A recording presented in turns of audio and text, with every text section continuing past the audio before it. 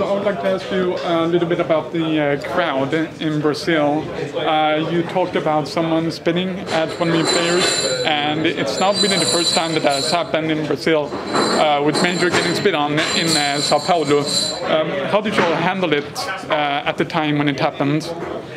We just told uh, to ESL and they got some security and people who, after first map, went together without with us.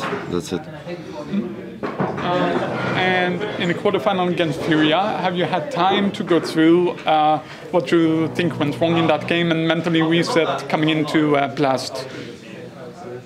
Uh, just uh, it was hard to play. Sometimes we didn't hear the game. Uh, sometimes we were panic in some situations, and uh, I think Furia handled that better.